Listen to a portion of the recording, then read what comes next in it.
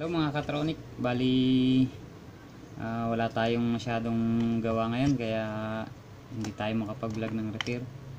Pero mga katronic, nakagamit na ba kayo ng gantong ah, multifunctional tester? Pwede na rin siyang ESR. Ah, try natin. Ah, demo ko ng kaunti. Kasi parang medyo nakatulong sa akin ng maganda tong ano medyo napapabilis yung ating pagtetest ng isang part. Okay po try natin para makita nyo kung paano natin ito gamitin.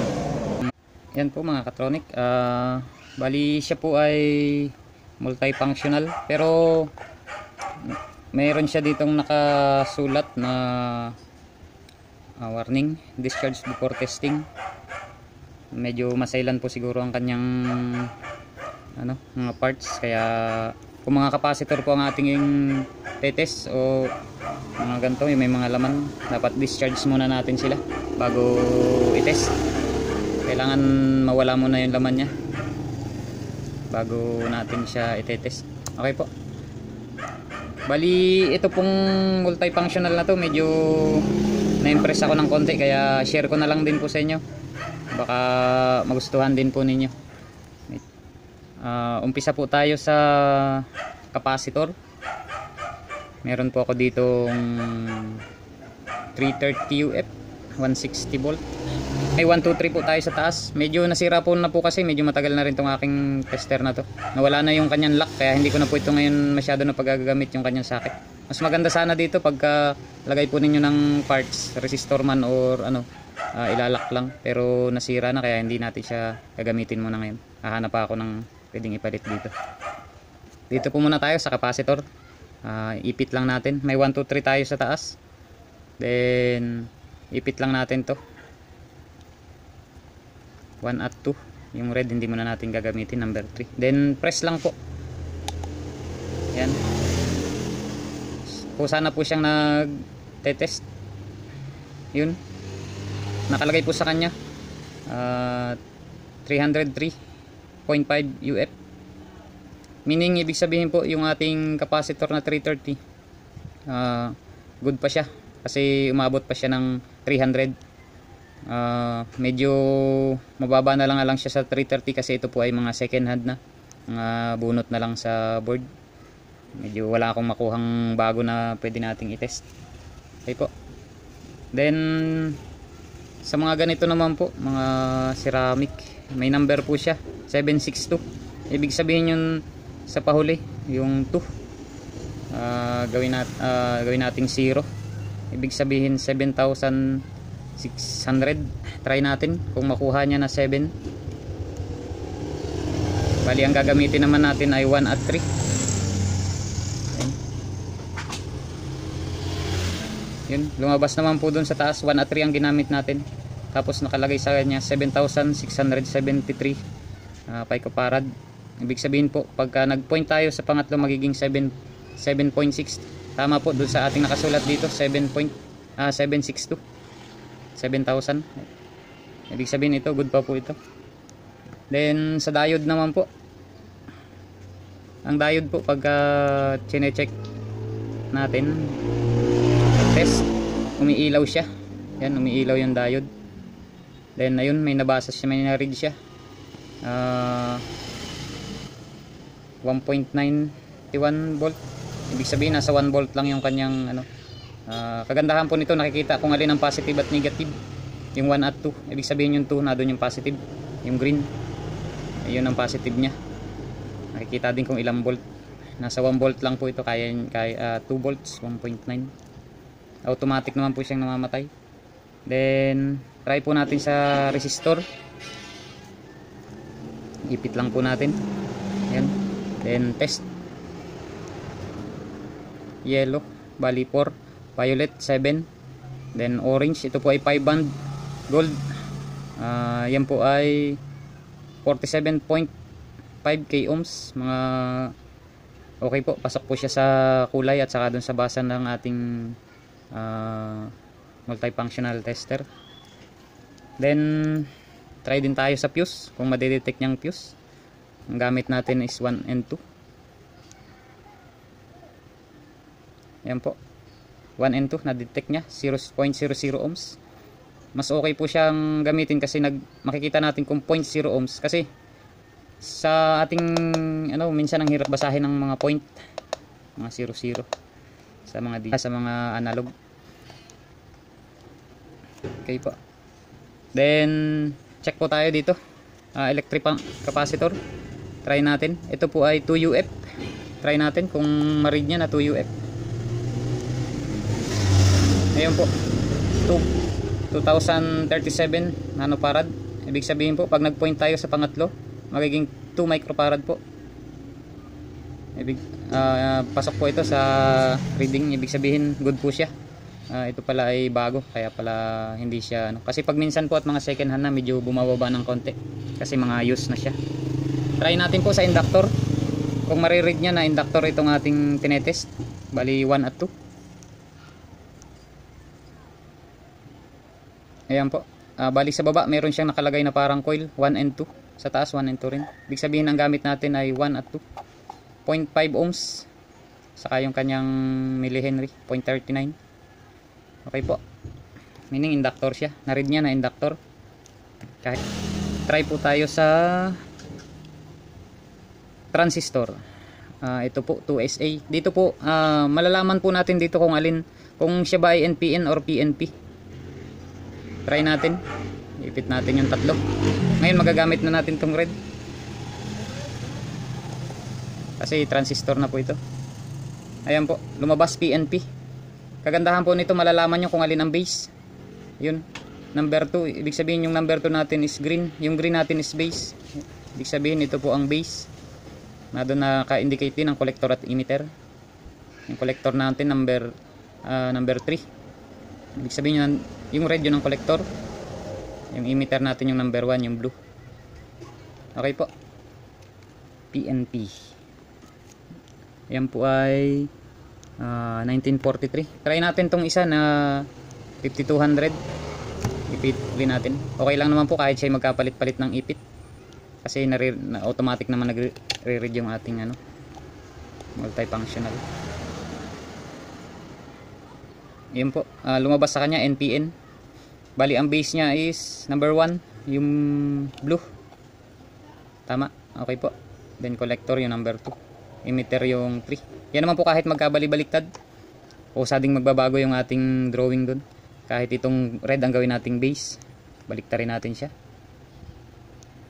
Yung red number 3 ibig sabihin dito mababago yung ating base. Yung red number 3 magiging base. Ayun po nagbago. Number 3 naging base. Yung ating collector ang number 2 uh, ah, number 1 ay emitter yung blue doon naman po nakalagay number. Okay po. Kagandahan po nyan malalaman nyo kung NPN or PNP yung chinecheck nyong pyesa. Then sa regulator 13007 try natin kung ma-detect din niya na PNP or NPN siya. Ayun NPN po siya. Bali ang base po niya ay number 3 ibig sabihin yung red ang number 3 natin base. Ibig sabihin good siya uh, ang base niya ay nasa bali red red side. Okay po. Then try natin to. Diode. Uh, pili lang tayo kung alin yung pwede nating iipit. Kahit alin naman po dyan. Yan. Ayan po lumabas. Bali 2 at 3 yung ginamit natin. 2 at 3 then diode sign may nakalagay. Yung number 3 is yun ang positive. Tama naman po sa sign. Positive yung number 3 okay po.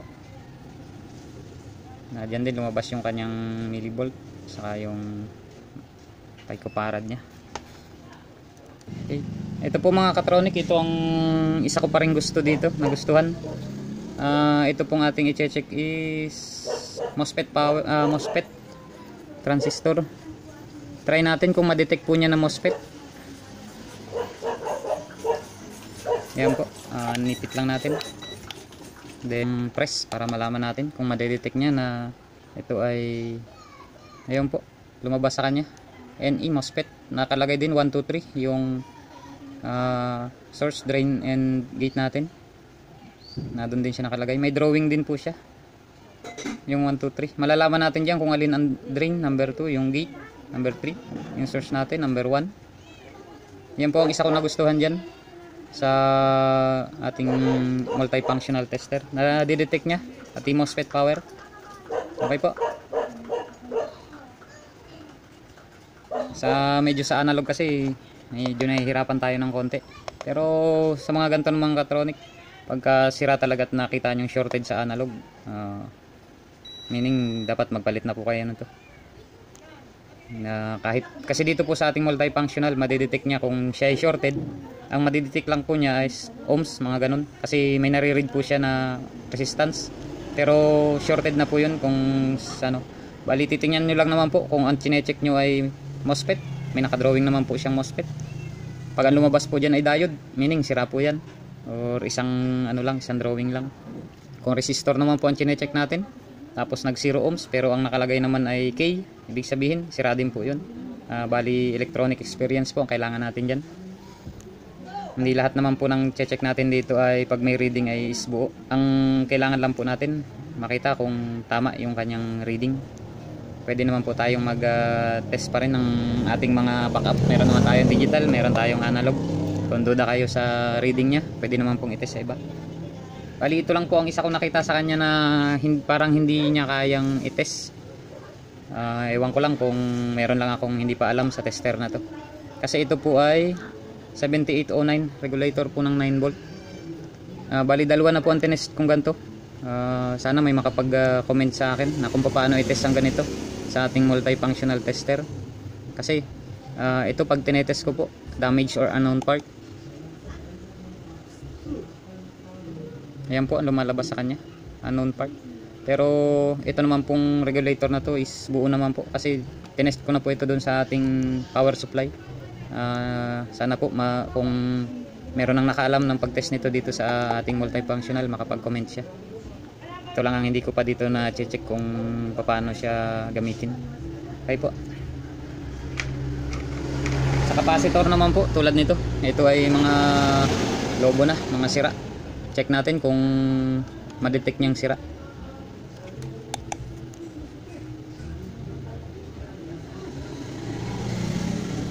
Ayan po.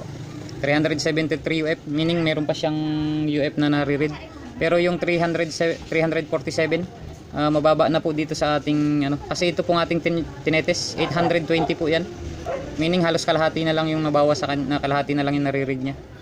Ibig sabihin po ito mababa na rin ah, sira na rin hindi na siya umabot kung mga abot man lang siya ng mga 720 magaya ganyan 750 meaning good pa siya. Pero ito po ay nasa 400 lang kaya ah, damage part na po ito. Try din natin kung kaya itong ganitong diode na maliliit. Kung madidetect po niyang diode. Test. Bali pag nagte-test po huwag niyong hawakan yung pointer. Ah yung ating pangipit kasi dyan po siya nagkakano. Ayun no unknown or damage part test pa natin isa pa. Baka naglulus contact lang.